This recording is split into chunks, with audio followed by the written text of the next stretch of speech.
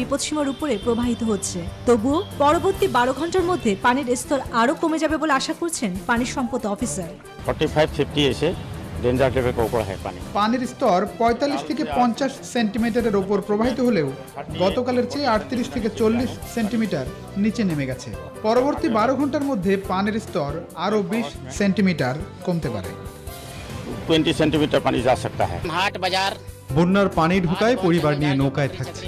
একা যা পেরেছি সঙ্গে এনেছি। ফসল বিশুদ্ধ পানি বন্যার পানিতে সব তলিয়ে গেছে। আমার বাচ্চারা খুবই ক্ষুধার্ত। তারা আমার কাছে খাবার চাইলেও আমার কিছুই করার নেই। ত্রাণ হিসেবে যে খিচুড়ি দেয়া হয়েছে তাই সম্বল।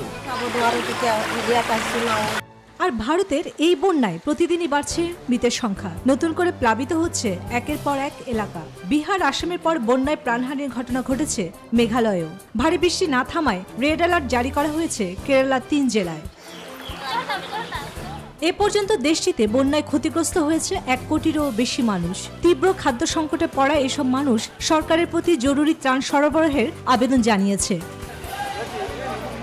এদিকে দক্ষিণ এশিয়ার বন্যায় অন্তত তিরিশ লাখ শিশু ক্ষতিগ্রস্ত হয়েছে বলে জানিয়েছে সেভ দ্য চিলড্রেন্স, যাদের একটি বড় অংশই ভারতের।